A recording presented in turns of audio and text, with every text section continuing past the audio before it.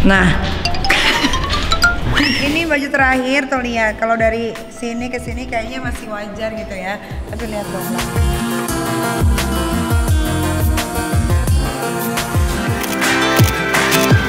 Siapa yang tak kenal dengan Nikita Mirzani? Nama Nikita Mirzani tak pernah lepas dari sorotan.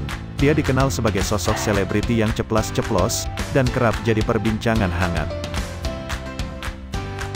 Meski begitu, ibu dari tiga anak tetap memiliki banyak penggemar, meski di kolom komentarnya selalu ada saja warganet yang meninggalkan komentar buruk. Selain itu, ia juga dikenal sebagai artis yang memiliki kekayaan berlimpah. Bahkan, ia pun tak henti-hentinya, memamerkan kekayaannya lewat media sosial. Melalui unggahan terbarunya di Instagram, wanita kelahiran tanggal 17 Maret tahun 1986 ini, baru saja, memperlihatkan kekayaan bersihnya yang mencapai 88 juta dolar Amerika Serikat, atau sekitar 1,3 triliun rupiah.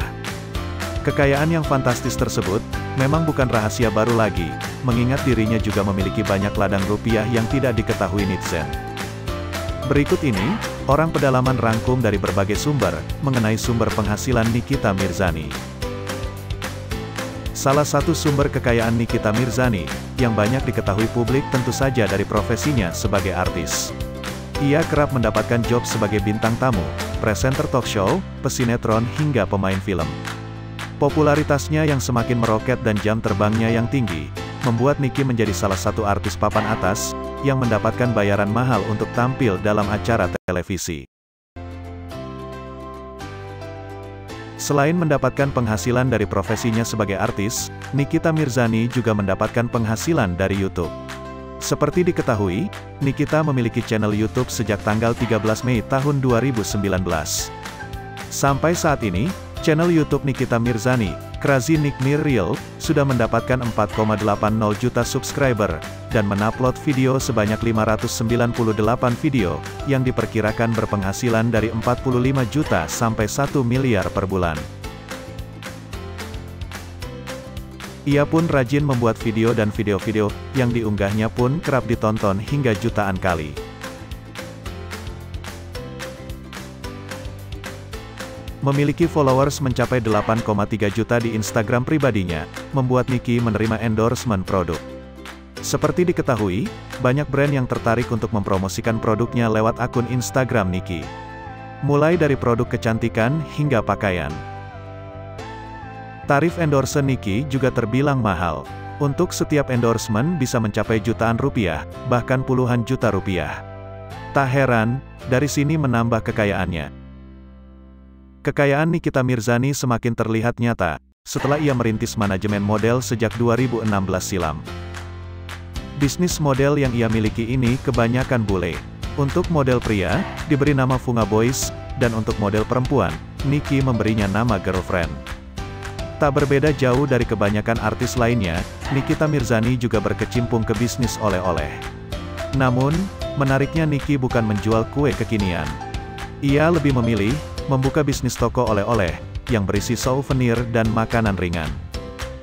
Toko oleh-oleh yang telah tersebar ke berbagai tempat wisata ini, terinspirasi dari diri sendiri yang senang traveling, dan berburu oleh-oleh.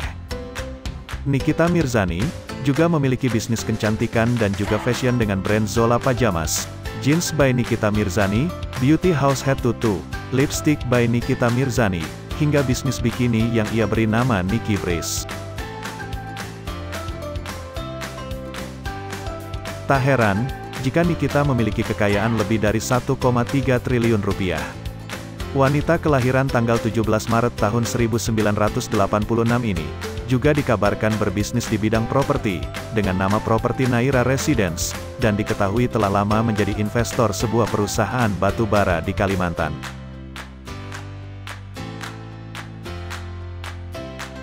Nikita diketahui telah menggelontorkan kekayaannya di sektor batubara sebanyak 10 miliar rupiah sejak 2017, dan kini dikabarkan memiliki saham terbesar di salah satu perusahaan batubara. Sampai di sini ya, konten hari ini, saatnya kalian bantu aku dengan tekan like, share dan subscribe biar aku makin semangat buat videonya. Sampai jumpa, Epang Gawang,